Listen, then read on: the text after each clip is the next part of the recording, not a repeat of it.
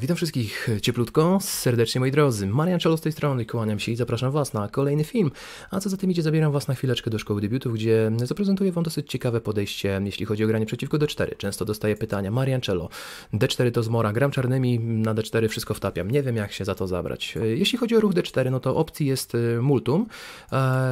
E, to są dwie najpopularniejsze, skoczek F6 i ruch pion D5. Zarówno jeden, jak i drugi ruch działa przeciwko posunięciu 4, które jest w tym wypadku niemożliwe.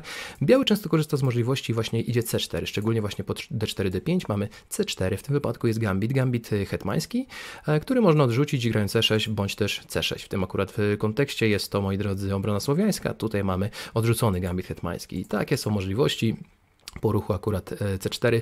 E, inną też alternatywą jest goniec F4, system londyński, zaraz białe, aha, białe chcą zagrać E3, wprowadzić gdzieś tutaj gońca do gry, no i być może, moi drodzy, z, z, zbudować taką tutaj solidną twierdzę, tak?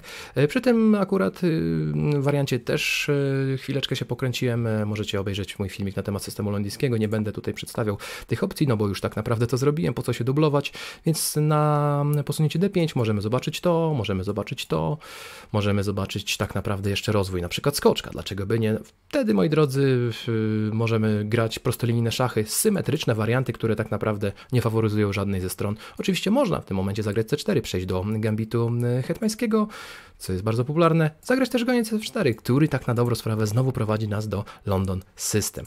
E, te rzeczy już mniej więcej na swoim kanale, moi drodzy, omawiałem. Inną opcją jest skoczek F6 też, stopujące C4. Znowu C4 jest opcją, znowu goniec F4 jest tak naprawdę opcją, skoczek F3 również. Jeżeli skoczek F3 padnie i zagramy D5, no to możemy przejść do tych struktur, struktur o których wcześniej a, mówiłem. Inną też opcją jest zagranie F5. Jest to obrona holenderska, dosyć ostre podejście.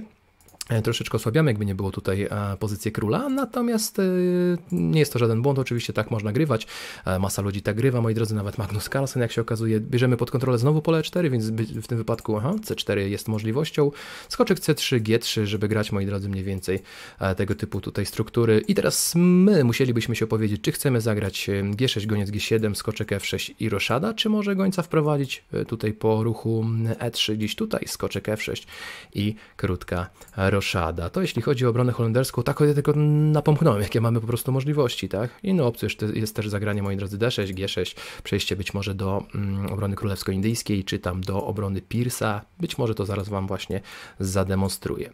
Eee, no, C5 też jest, też jest jak najbardziej e, ruchem, tak? Tutaj, moi drodzy, e, obrona Benoni bodajże. Dobra, a przyjrzyjmy się dla posunięcia D6 bardzo interesujący. Tak skromnie to wygląda. My szykujemy E5. Mm -hmm, szykujemy E5. To są ruchy, które można zobaczyć w tego typu strukturze. Oczywiście goniec F4 jak najbardziej, jak najbardziej też. E, załóżmy, że rywal pójdzie E4. No ma tutaj solidne dwa piony w centrum, moi drodzy, kontroluje praktycznie praktycznie cały rząd piąty. W tym wypadku możemy łatwo przejść do obrony Piersa, to też już na moim kanale jest, więc zachęcam do, do tutaj obejrzenia filmiku. Pchnięcie wcale nie jest takie dobre, bo po biciu, biciu, moi drodzy, wybijamy, doroszujemy i skoczek G4. Tutaj na dwa e, punkty jest atak, więc bicie jest troszeczkę out of question, dlatego też tutaj F3 albo broni pionka, żeby przygotować być może mm, długą roszadę, albo po prostu skoczek C3, który jest popularniejszy w tego typu liniach, żeby bronić pionka po prostu i G6, goniec G7, krótka roszada, jakiś C6. E, rozwój, moi drodzy, tutaj figur na, na hetmańskim, tak. No tutaj F3 jest opcją atak trzech pionów, Goniec E2, skoczek F3 to są ruchy, które, które w tego akurat typu strukturach można zobaczyć, jeśli chodzi o obronę Piersa. Dlatego też tutaj bardzo łatwo do obrony Piersa, moi drodzy, przejść po, po D4, D6, jeżeli pójdzie E4. Natomiast tutaj C4 też jest opcją. C4 jest jak najbardziej grywalną opcją, ale o tym powiem zaraz, no bo na tym się głównie skupimy. Jeżeli rywal Wam po prostu rozwinie skoczka na F3, to w tym wypadku polecam skoczek F6 i Możemy ustawić tak naprawdę struktury obrony królewsko-indyjskiej, e, możemy ustawić e, struktury obrony Piersa, bo to tak naprawdę jedna chwała, tak? Jeśli chodzi o, może się mylę, może są jakieś tutaj subtelne różnice, natomiast jeśli chodzi o rozwój figur, no to wygląda to bardzo bardzo podobnie. No nie wiem, C4 mogłyby w tym momencie pójść. My możemy zagrać, tak jak mówiłem, G6. Możemy też tak na dobrą sprawę, moi drodzy, zagrać E6 i gońca wprowadzić tędy, tak? I później na pomysł na rozwój tych figur gdzieś tam też się pojawia. Tutaj bardzo często będą chciały zagrać się 4 białe, żeby zbudować solidne centrum, ale to jak my się opowiemy, czy to będzie E6, czy to będzie C5, czy to będzie G6, to już zależy tak naprawdę E, tak naprawdę od nas, tak? E, I no jeszcze alternatywą jest zagranie w tym momencie skoczek C3, tak? Zamiast skoczka F7. no to ja polecam znowu być może akurat tego typu rozwój, jeśli chodzi o skrzydło królewskie. Taki uniwersalny, moi drodzy, uniwersalny system, budujemy domek, e, wprowadzamy gońca na długo przekątną, w pewnym momencie szukamy jakiegoś posunięcia C5, tak, w tego typu akurat strukturach bardzo często się to grywa. C6 też jest opcją, żeby gdzieś tam hetman gdzieś wszedł do gry na hetmańskim. Hetman na hetmańskim, no w sumie pasuje wszystko. E, dlatego też tutaj, po tym mamy Pirsa, po tym mamy obrony królewsko-indyjskie, Mniej więcej takie, takie struktury, jakieś tam struktury, troszeczkę jakby nie było wariantu, moi drodzy, smoczego w bronie sycylijskiej, chociaż to nie jest do końca to samo, ale jeśli chodzi o ustawienie, to przypomina to, e, jakby nie było. Mm, no ale skupię się na posunięciu C4 w tym momencie, no bo białe mogą zechcieć zagrać C4, jak najbardziej mogą. I w tym momencie polecam bezpośrednio grać E5. To jest właśnie to, o czym chcę dzisiaj porozmawiać. E5 w tym miejscu. Jak to? No przecież to jest bicie. No bicie i zderoszowanie. Czy zderoszowanie zawsze oznacza kłopoty? Czy to z automatu znaczy, że stoimy gorzej? Jak się okazuje, niekoniecznie. Moi drodzy, możecie sobie wejść w bazy danych i jak się okazuje, czarne w tym momencie 40 parę procent bodajże partii są w stanie, są w stanie um, ugrać. To jest niezły wynik jak dla czarnych. Yy, brzmi jak brzmi, ale wiecie o co mi chodzi mniej więcej. Król jest deroszowany, wiadomo, będzie niby problem z włączeniem wież do gry, ale nie ma hetmanów, więc dynamika troszeczkę nie jest to partia tak dynamiczna. Nie jest tak um, łatwo tutaj dostać mata, tak? Przy królu w centrum. Gdzieś tam, nie wiem, jakiś wyrok na, na, na króla w centrum, no wiadomo, ma to miejsce wtedy, kiedy wieże wchodzą szybko do gry, gońce się rozgrywają i hetman gdzieś jest słabe pole, jakieś F7 i tak dalej. Tu nie ma hetmanów, więc takich historii nie ma w tym miejscu.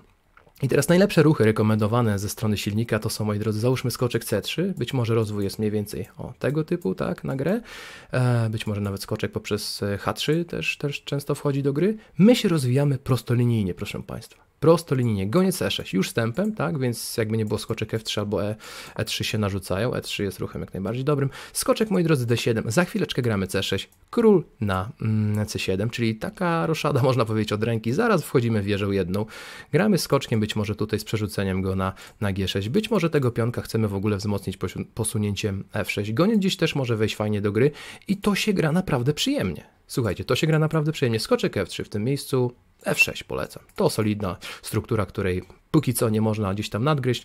E, goniec D3, wiadomo, lekkie figury chcą wchodzić do gry. W tym wypadku nawet A5 jest ruchem, moi drodzy. Skoczek C5 jest ruchem już tutaj wstępem na, na gońca, tak? Możemy teraz pomyśleć o rozwoju tego skoczka gdzieś tutaj, tak? Możemy zagrać te, te, te C6, o którym wspominałem, żeby tutaj króla schować, wziąć pod kontrolę te pola i włączyć wieżę do gry. Tutaj tak naprawdę gra się bez, bez, bez kompleksów. Biały nie ma dostępu do naszego króla. E, I idea jest tego typu, że nie ma szybkiego gońca C4, który właśnie po ruchu D8, e, król D8 oczywiście, już atakuje nam punkt C7, co często ma miejsce właśnie przy zderoszowaniu króla. No to jest wtedy troszeczkę niewygodne, tak? Musimy jakoś tego punktu, punktu tutaj bronić, gdzieś tam pozwolić na zdublowanie pionów, czy kolejny ruch królem wykonać, e, więc tutaj jakieś tam straty niby tempa się mogą pojawiać, więc w tym wypadku po C4, aha, co ja chciałem, D6, C4 Mamy bezpośrednie E5. Oczywiście bić nie musi. Większość wam wybije, bo uzna, że zderoszowanie tutaj króla to jest dobry, dobra opcja i że stoi lepiej sobie pomyśli, ale niekoniecznie, jak się okazuje. Niekoniecznie. Skoczek F3. Załóżmy, że to posunięcie pójdzie w tej wersji językowej to można znowu zagrać F6, można, moi drodzy, jeszcze wtrącić szacha na dodatek, wejść tutaj szybciutko gońcem do gry, nie ma zasłony pionkiem, co jest y, cenną informacją, po goniec D2 proponuję nawet wymienić to, bądź też zagrać skoczkiem na C6, bo biciu mamy... Aha, to miałem na myśli. Po biciu mamy jakieś fajne tempo, więc albo skok na bandę, albo król musi podejść bronić. Yy, I nie jest powiedziane, że wcale stoimy tu gorzej. To, to, to, że nasz król jest dorszowany, to nie jest problem, bo my, my po wymianie nawet lekkich figur będziemy chcieli i tak tym królem podejść do centrum, więc nie będziemy go już gdzieś tam e, w zakamarkach szachownicy skrywać, jak to ma miejsce w innych debiutach. Więc akurat to jest, moi drodzy, sytuacja, kiedy zderoszowanie króla wcale nie faworyzuje strony, która deroszuje, tak?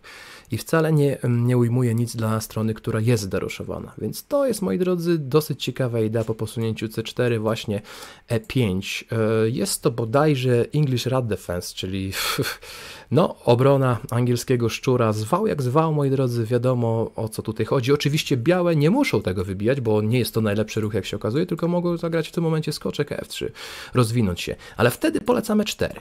I znowu jesteśmy za kierownicą, moi drodzy, tego pojazdu rozpędzonego. No skoczek musi odejść. Skoczek G5 to jest ruch, który się, który się często widuje. Jeżeli ktoś by odszedł wam skoczkiem, skoczkiem tutaj, to proponuję F5 od razu. Bez kompleksów możemy zagrać F5. Tak samo po, po, skoczku, moi drodzy, na G3 jest intencja odbicia, znowu mamy posunięcie F5. Posunięcie F5, być może tego typu rozwój będzie miał miejsce, tak? Zawsze można zagrać tutaj gdzieś tam z podwójnym atakiem na jednokrotnie bronionego skoczka i partia się jako tako układa. No skoczek C3 polecimy tymi liniami, które grywa się bardzo często. Mm, no H6 wyjaśniamy, bądź też oczywiście gonie C7 też był ideał. No skoczek nie ma powrotu, więc skoczek H3 i białe stoją tutaj dziwnie, tak? No mają te dwa skoczki w grze, natomiast ten skoczek, no, no niby ma jakieś tam możliwości rozegrania się, tylko co on tutaj będzie, będzie atakował, jak się pojawi. Ten skoczek, moi drodzy, e, no musiał wykonać kilka manewrów, stoi w tej chwili na bandzie, a my, moi drodzy, moi drodzy, moi drodzy, gramy G5 chociażby. Piony idą, no, wiem, to wygląda ryzykownie. Tu hetmany jeszcze są na szachownicy, więc tutaj są jako takie słabości. Warto mieć na uwadze, że Hetman chciałby nas tutaj, tutaj gdzieś przyszachować i zderoszować, ale w tym wypadku skoczek F6 załatwia tak naprawdę, tak naprawdę wszystko w tym akurat kontekście. Być może dojdziemy do D5, być może rozwiniemy się w ten sposób, tak? E, dużo jest mo możliwości, bardzo elastyczna gra ma miejsce, dlatego też po tym ruchu możemy zagrać już stępem E4, myślę, że stoimy całkiem, całkiem przyjemnie. Więc na posunięcie D4, D6 jest dosyć ciekawe, tak? No C4 i gramy D5, moi drodzy. Oczywiście to prowadzi często właśnie do obrony Pierce'a. Czy możemy zagrać w tej wersji językowej? No okazuje się, że możemy, tylko że akurat w tym wypadku jest ten goniec C4, o którym mówiłem. No i, i, i, i, i, właśnie. No i coś tutaj trzeba zagrać, żeby te tempo tutaj jakby nie było, mm, zostało no, wytrącone, tak? Więc taka ciekawa alternatywa na posunięcie D4, D6.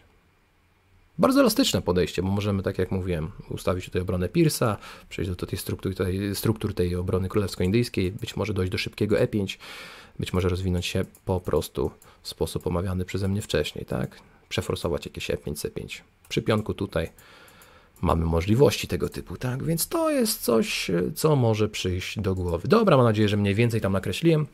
Ideę tego zagrania D6 pokazałem też mniej więcej, jak możemy rozpocząć partię po ruchu D4 inaczej zamiast ruchu D6. Oczywiście skoczek F3, F6, przepraszam, i D5 to były ruchy uwzględnione.